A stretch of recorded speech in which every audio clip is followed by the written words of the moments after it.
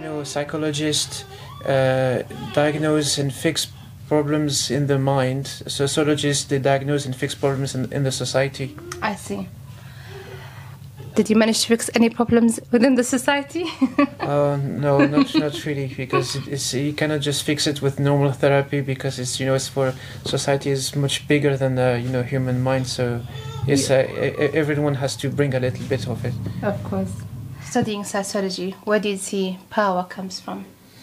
It's it's a complex matter because there's on, not only one answer to that, mm-hmm. but uh, it is something you can feel from whatever pressure you you you see, whether it is at the workplace, uh, at school, with fa- families, sometimes with our own friends, it's um, it's tricky because often it's invisible. Mm-hmm. Uh, when it comes to social norms, you know how to behave, how to dress, how to speak and lots of people judge you uh, according to that. Mm-hmm. The, they just look at you, hear your accent, and then make a judgment, and from there they can, you know, uh, decide whether they they, uh, they, want to hire you or they, they, they want to, to be friends with uh, with them or, or, or not. And then you have more visible uh, forms of power with, for example, the police, um, mm. with uh, the the judicial system, and, and, and, so on. So it comes at diff- different levels, but ultimately,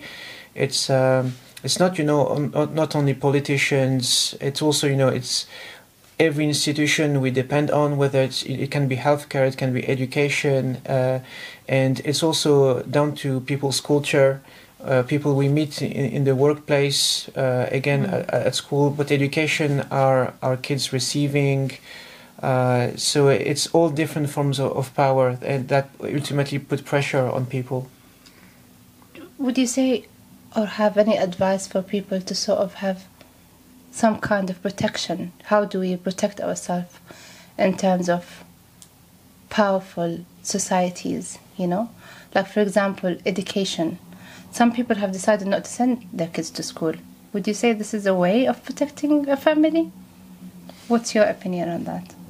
Yeah, I think there's many different alternatives, mm-hmm. and uh, thankfully, uh, to some extent, we are not. Uh, it's not compulsory to send kids to to the school. We can choose, and I think this is a great freedom we have because we can decide uh, what do we teach the, the, the kids. Because yes, sadly, uh, one one thing is the the school were never designed to teach people how to live. They were designed to train people to be part of the workforce, and that's uh, it hasn't been corrected since uh, like since then. So it, it has to come from somewhere and of course it's uh, it, it's tricky nowadays because not everyone can afford to homeschool their kids not everyone has the time so people are a bit trapped but there, I see different alternatives. Whether you know, there's like these homeschooling communities when parents are not available. There's one parent doing homeschooling for many kids. Mm-hmm. Uh, so you know, it, when it comes to,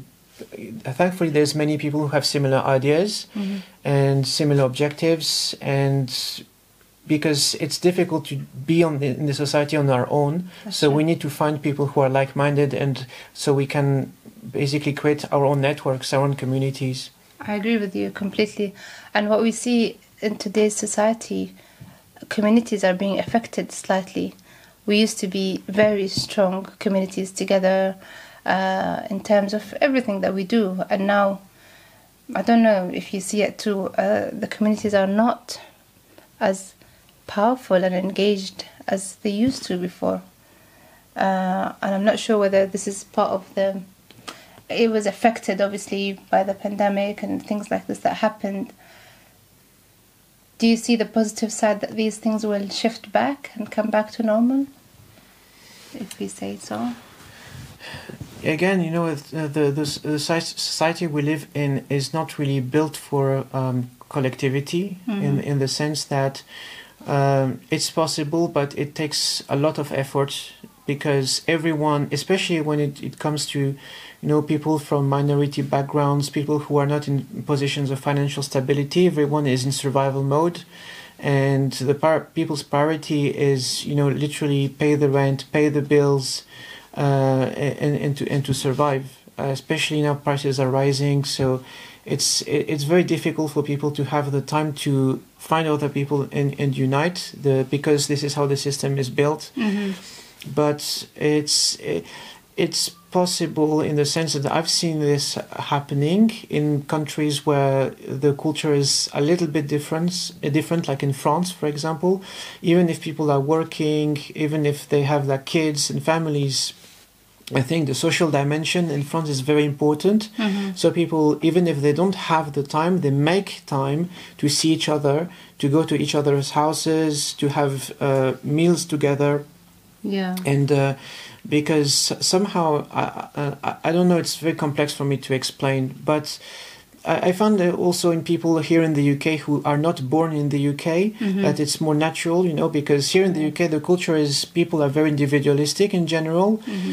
and it's very rare for people to invite each other but i always see with friends who didn't grow up here in the uk it's easier you know to just you know invite each other spend an afternoon together um, because this is i guess how we've been socialized but at the same time on a human level it's uh, it's very very important Hundred percent. I mean, uh, nowadays I almost feel like people get surprised when you say you're invited, come around to our house, and be like, oh, really? Like most of the meetup now are happening in cafes, in restaurants, and it's like no one even know what their their friend's house looks like anymore.